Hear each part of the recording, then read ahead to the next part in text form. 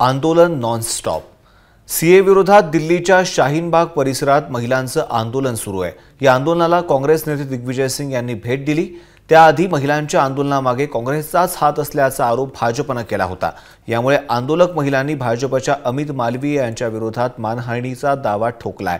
हे आंदोलन सीए विरोधात करण्यात येत आहे परंतु अनेक कारणांनी हे आंदोलन चर्चेत येत आहे पाहूयात याविषयीचाच हा स्पेशल रिपोर्ट सुधारित नागरिकत्व कायदा लागू होऊन जवळपास पन्नास दिवस होत आहेत.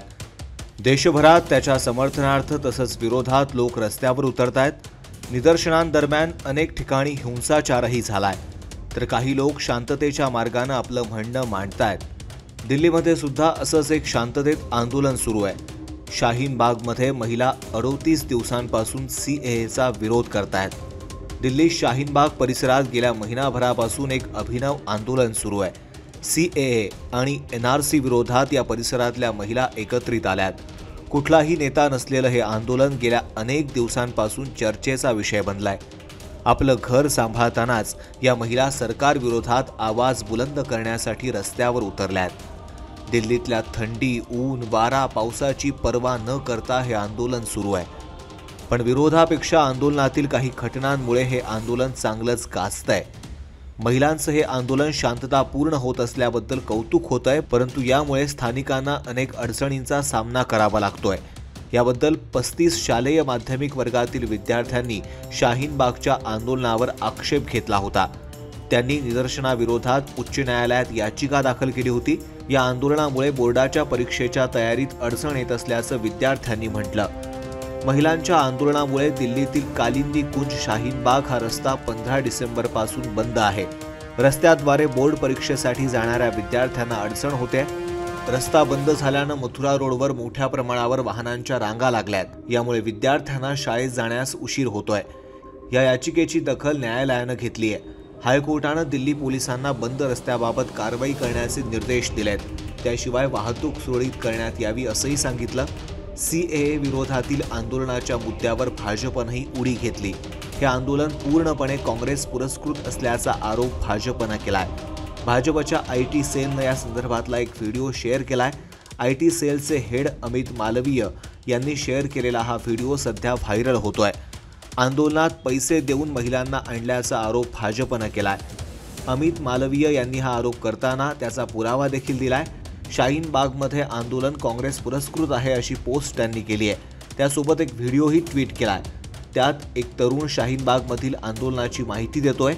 आंदोलक महिलांना पाचशे ते एक हजार रुपये देऊन आणलं जात असल्याचं त्या तरुणानं सांगितलं आहे आंदोलकांना जेवण पाणी जाग्यावर आणून दिलं जात आहे आंदोलक महिला घरी जाणार असेल तर तिच्या जागी दुसऱ्या महिलेला बसवलं जातं पण संख्याबळ कमी होऊ दिलं जात नाही असं तो तरुण व्हिडिओत बोलताना दिसतोय.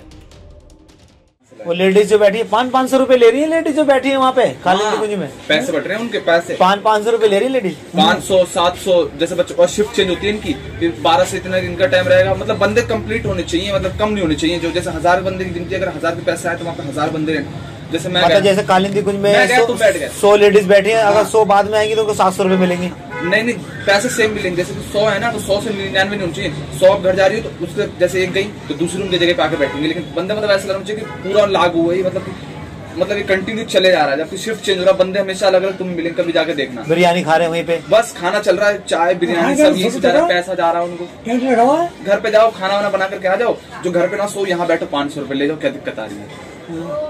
ये ये कालिंदी कुंज की बात है हाँ हाँ बता रहा हूँ। बटला उसके जितने बाहर के जो रोड है ना लेफ़्ट वाला राइट वाला मार रखा पूरा का पूरा वो बंद कर रखा जो मतलब दिखाने के लिए कर रखा है कि हम रात दिन बैठे हाँ, पैसा कमा रहे हैं कुछ नहीं हो रहा है। एक एक साल के बच्चे को लेके बैठे हैं पैसे मिल रहे हैं पाँच पाँच सौ रुपए ने हा व्हिडिओ पोस्ट करून अमित मालवीय यांनी नव्या वादाला तोंड फोडलाय.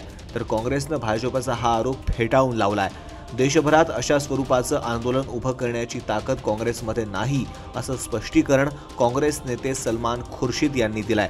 मालवीय यांच्या या आरोपावर आंदोलक महिलांनी तीव्र टीका केली आहे. त्यातील दोन महिलांनी मालवीय यांच्या विरोधात मानहानीचा दावा केलाय.